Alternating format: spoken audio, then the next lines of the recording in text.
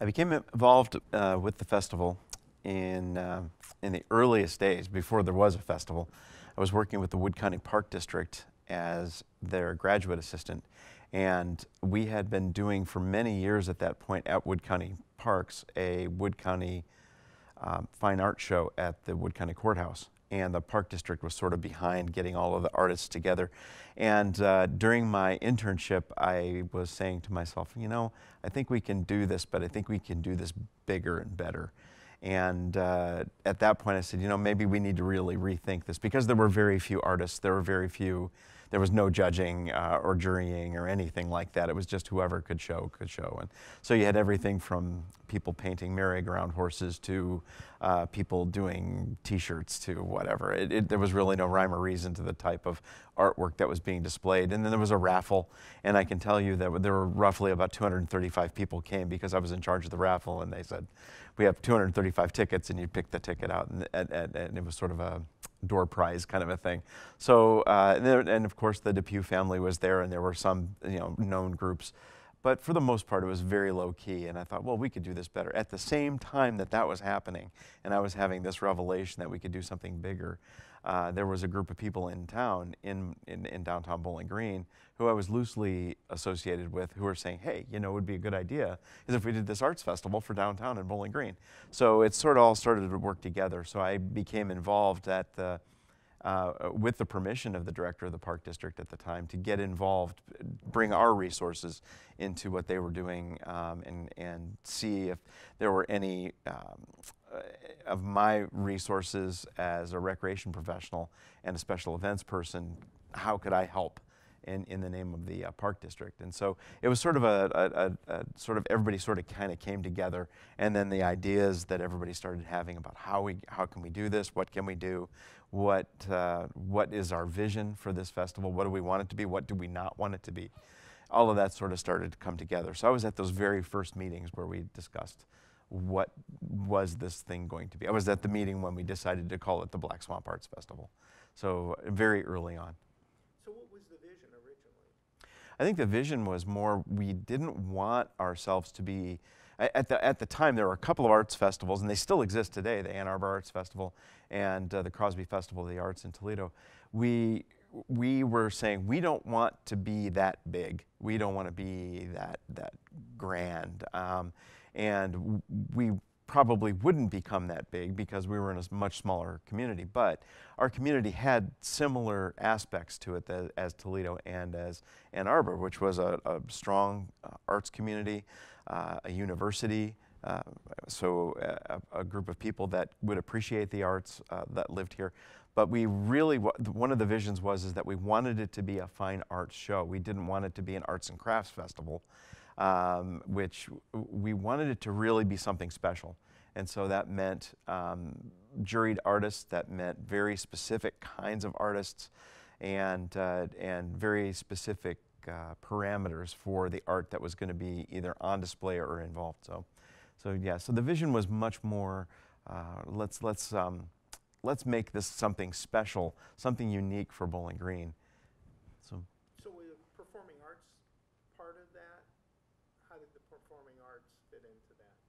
Well, performing arts, I, I, we were uh, very excited and lucky to have Leon Redbone be our main, uh, main, uh, main stage uh, opener. I mean, yeah, it, wow, have, having someone so well known to come to, to a festival that was its very first year, and of course it rained out.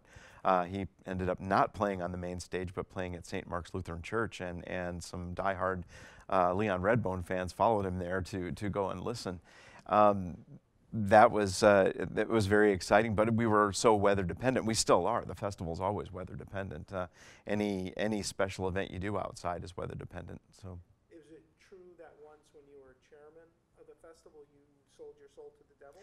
It is. Uh, I actually did sell my soul to the devil. Uh, I, at least that's what I would tell people. Um, I just said, you know, please, please don't let it rain because I was chair of the festival uh, let's see, one, two, three. So the fourth, fifth, and sixth years. And then I was later on, like the 11th year or somewhere in that neighborhood as chair of the festival. So I, you know, I, the thing we really, really needed was dry. And that first year, it almost ended the festival because it was a deluge. It, it came down so hard on Saturday. We just didn't think we were going to be able to have another festival. But thanks to some very, very uh, special people in our community, they made sure that financially we would overcome the losses, which we did, and they have been paid back many times over.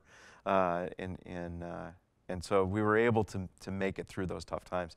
It, it, it, was tough. It really was. And you know, you're a budding festival. You're just learning what you're. You know, the people were just getting to know each other. It was a family of people that were coming together and just getting to know each other and how each other worked. And everybody had uh, their own opinions and their. You know, everybody had an idea of what they wanted the festival to be. So you've had what, what are your different roles? You were you were chair for four years.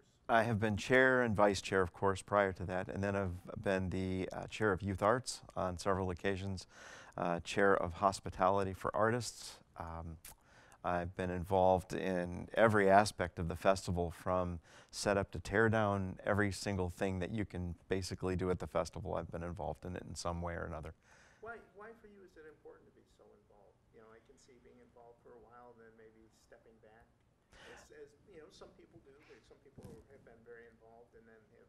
I think there's certain ways we can give back to our community, and and I think this is one where I can take the talents that I have, the the skill set that I have, and apply it in a very real way to make my community a better place for people to be. So, uh, you know, using my background in recreation, administration, um, organizational skills, all of that is something that I really enjoy doing. And to see the results of it, to, to you know, uh, uh, you bring different leadership skills. Every chair has different skills that they bring to the table, and some of us run meetings in a loose way. Some of them are a little bit more rigid. Um, any way you look at it, all of us bring something to the table that can be helpful. I, I just really enjoy being involved. I, the, the, last art, artists at work, so working directly with artists that are, you know, demonstrating their art, what a fantastic opportunity for people to see how art is created. So all of these different kinds of things, I, I really like kind of stepping into a role where I feel like my skills are going to be useful. Um, and one thing I've never done, and I probably won't do, is volunteers. I just don't, don't have any interest in that. And now that it's all online, it's made it so much easier. We back back in the beginning, it was all calling on phones and and and trying to uh, strong arm your friends into volunteering for the festival. I've heard everywhere from 600 to 1,000, so depending on, and no one knows the exact number, but it's a tremendous number of people that, that do this. And we have the core group of volunteers who put their heart and soul into it and go to meetings on a monthly basis. Starting in January, I mean, we're, we're thinking about the festival that early on till, um, you know, the, the days of the festival. And some of those people, again, the committee members, are there. They are literally there for the entire weekend. I mean, you you know, you see them at two o'clock in the morning, and you see them the next day at eight in the morning, and they're going strong.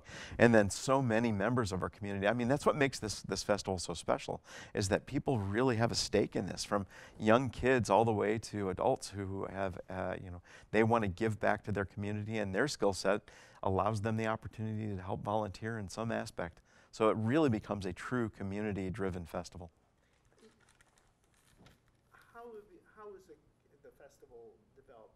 Feel it's still, the DNA is still the same, or is it when it was? as far as the festival growing, I mean, it's it's grown to a point right now where I think it's where it is. I, I don't. I don't know that we'll ever get much more gigantic than we are right now. I think at this point it's a matter of looking at the different activities that we do, tweaking them, deciding whether is this something that's useful to the festival and is working, or do we add something new like the sidewalk uh, the sidewalk chalk was a new thing and it just took off and it was great. You know, there have been other other parts of the festival that may um, have gone by the wayside, and and that's okay. Uh, there's everybody brings something new. When we sat down and wrote the bylaws, one of the main things that we did was we put term limits on our chairs, and that as the chair of the festival has a term limit. That's the only one, two years. You can be two years consecutive. After that, you you have to step down. I mean, it's it's written into the bylaws, and the reason behind that was we want new ideas and new leadership every single year. There are festivals truly, even here in Northwest Ohio, even here in Wood County, where the, the chair has not changed in 20 years, well, that doesn't really lend itself to uh, it lends itself to consistency, but it doesn't lend itself to necessarily new ideas. So if I'd gone to a festival and the chair has been there and maybe the same group of people have been running it, and it's the same festival, I say, I, I went to that already, I don't need to go. I think that the arts festival here in Bowling Green is so much different because you kind of never know what you're going to see. You're going to see the standards. There's going to be visual art, there's going to be performing art, there's going to be the invitational art, there's going to be um, the, the, the youth art area. All of that is standard. Those are our foundations, you know, our, our uh, you know, it's like a mall. you know, there are anchor stores. there, there are things you're going to expect to see, and they're going to be good. And then there's all the other stuff in between, and, and some of that can be tweaked and changed, and, and all of it has. Everything from visual arts to performing arts has tweaked over, over time. It seemed, it's interesting, and I don't know that it's unique, but it's certainly a distinctive element is that the festival is strong in so many areas. Uh, You might have a music festival that has a little art show attached to it, s- uh, certainly some face painting. But this is like all the aspects, including, you know, including the food, including the concession. Yes. Is very strong. And was that sort of intentional at the beginning, or how did that? absolutely intentional at the beginning. In fact, we would go uh, to other festivals. The different groups of us would go to different festivals to see what they were doing and kind of see what can we, you know, take from them, good and bad. Like uh, what do we like, what we don't like.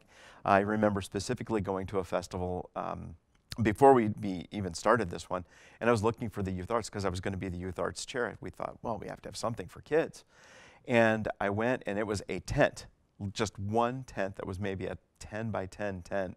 And the kids could put a piece of paper in the bottom of a lid of a box, and they would take marbles that were in tempera paint, and they would drop the marbles in and roll them around inside the box. And then they would pull out the paper, and it was sort of this kind of Jackson Pollocky looking, uh, splashy art kind of a thing. Great. That was the only thing that was available for kids to do at that festival. And as I've gotten older and, and I've had kids in my life now for many, many years, I realized there's, they really want to be a part of this festival. So, in order to be um, available to the entire community, we felt very strongly at that point that the, the youth arts area had to be second to none. And it is. I've never been to another festival that caters to children and families like we do. With a, with a youth art stage and with the many different activities and, and the, the, stuff that they can do to take home and all this, uh, also the stuff that they can do just to leave there and other kids can build upon it. So we, we took good and bad from all different festivals and looked at, well, what can we do with our, what, what do we want to do with our art? Well, we want it to be fine art. We want it to be juried. We also want to encourage local artists to be involved, and that's where the invitational show comes from. All of this, and uh, even down to artist hospitality. We want our artists to feel special, and I know that in some festivals, perhaps they don't feel as special. They don't, they don't get a restroom to themselves. We give that, give them the opportunity to go to. It's a very simple thing, but restrooms in an air-conditioned facility where they can put their feet up for a few minutes and and uh, and get a bottle of water and take a breath and and uh, you know have something to eat. All of that stuff plays into making our festival different and special compared to others. Would, uh, have you noticed over the years, people coming in, that this is being sort of a homecoming for a lot of people? This is the biggest block party in Bowling Green, and it is definitely a homecoming, without a doubt. I will, you know, even living here in Bowling Green every day, 24 7, I don't run into my friends or the people that I know very often. You know, you, you go to the festival, you see everybody, and, and, and you'll see people you haven't seen in years and years. I ran into a friend of mine backstage um, once from graduate school. She was back there with a friend of a friend, kind of a thing. And I'm like, oh my gosh, you know, out of the blue, here's this person I haven't seen in, in 15 years. You know, fantastic. You know, and, and now with with social media, people can can contact their friends. Hey, let's meet in Bowling Green. Let's get back together. I, I do know that even at the high school and uh, at other other parts, of maybe the university, people are having events where they say, "Hey, let's get together, class of blank. Let's meet together at the festival." And you'll see that when you get get people together, particularly in the in the beer garden area, uh, which is a story in its in itself.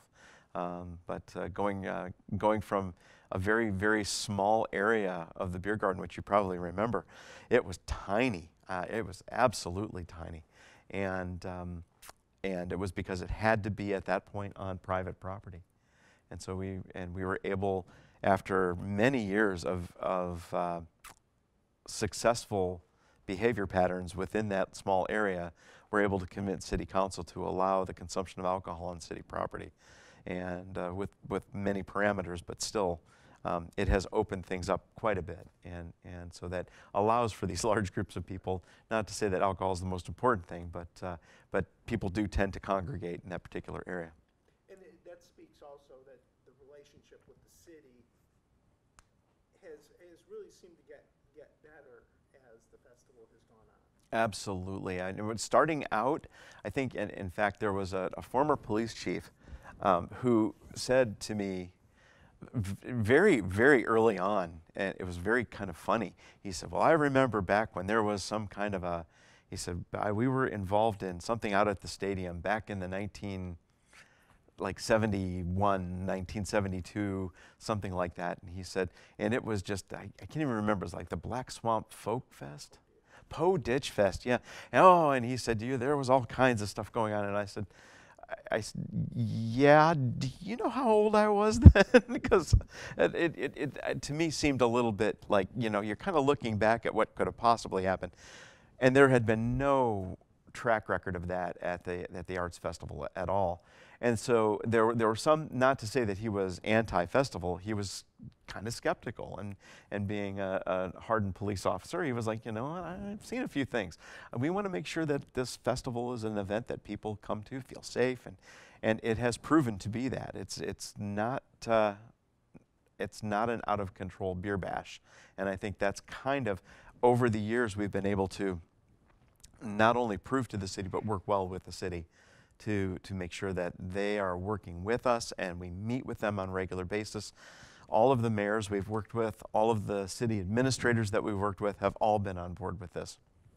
And right down to the public works guys uh, uh, that come out and take care of uh, making sure that trash gets picked up or making sure that the downtown is looking good before the festival.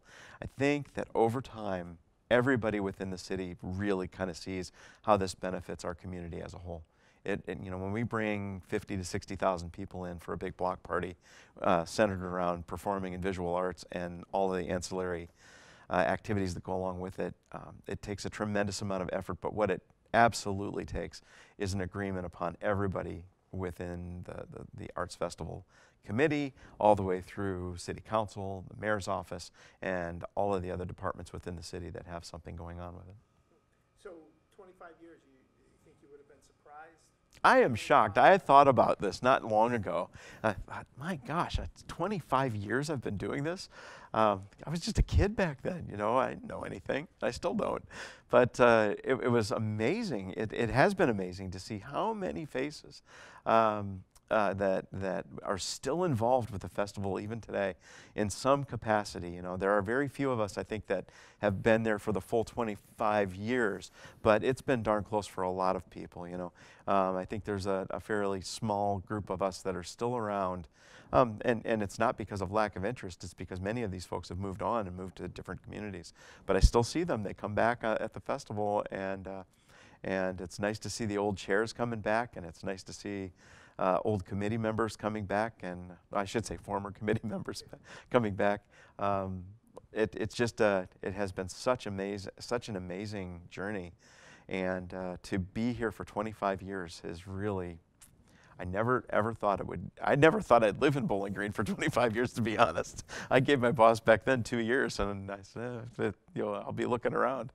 Do you think uh, the festival is something that keeps people like you in town? It's certainly part of it. I mean, our community offers so much to so many. And, and if you have an interest in, in the arts, Bowling Green is a really good place to be.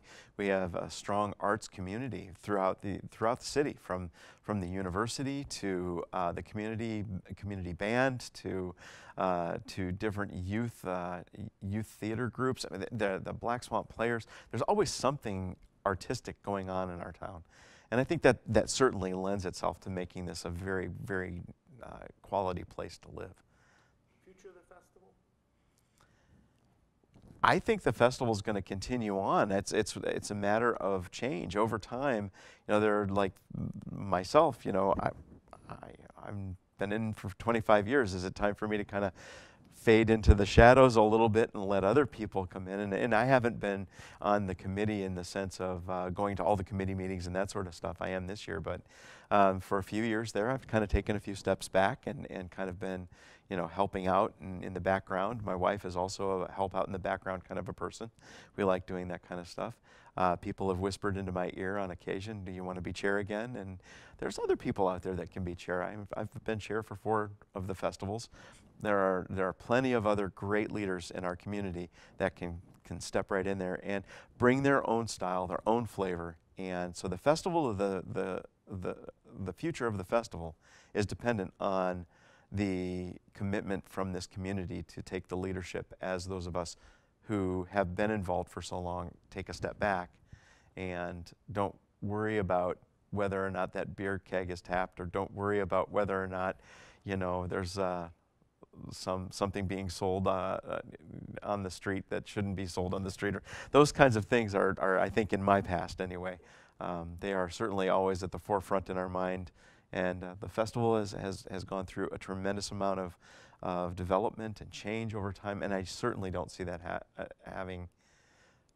I don't see that changing in the future. I think that we need to continue to change. We need to follow the bylaws, which we do, and one of the few organizations I know that do uh, follow their own rules. But we really, really need to follow our own rules and keep the new blood coming in, and the new ideas, and then and don't don't squelch any ideas, even if somebody says you know, well, you know, back 1997, we did that. You know, it didn't work. so what? it didn't work. You know, you know, 20 years ago. Let's try it now and see what happens. You know. And one of the things is the festival really is in terms of financial support. Uh, the festival has never sold naming rights. That's correct. Yeah. And it's, it really is. I won't say largely, but it's a, a good part of it is funded by the just people in the community. Yes, there are there are a, a, few different organizations that have given money over time, and have given decent amounts of money. Everything from the uh, uh, Ohio Art, uh, the is the Ohio Council on the Arts or Ohio Arts Council. Sorry, um, they've they've given us grants over in the past. Um, we've received uh, grants from different community organizations and different companies within the town. Um, it's been presented by and sponsored by different organizations, but I believe that it, it really is coming directly from the people that, that live here. They're going to give what they can. And so our friends of the festival, um, uh, giving opportunities and, and now with, with it used to be again so difficult sending mailers out mailers out mailers out now it's PayPal I can do it from my phone while I'm having uh, you know, having something to eat, and somebody said, "Hey, did you did you give to the festival yet?" No, but go to PayPal and do it right now. You know, and and so I think that's really going to change the way we we support our festival, but making it easier for people um, rather than writing a check, just do it online.